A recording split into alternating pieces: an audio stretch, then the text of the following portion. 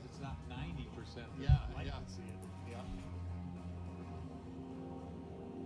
It's all about beating the Yankees. Tell you what, Yankees get in that. They're they're as good as anybody.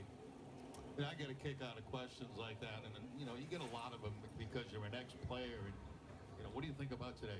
How do how do you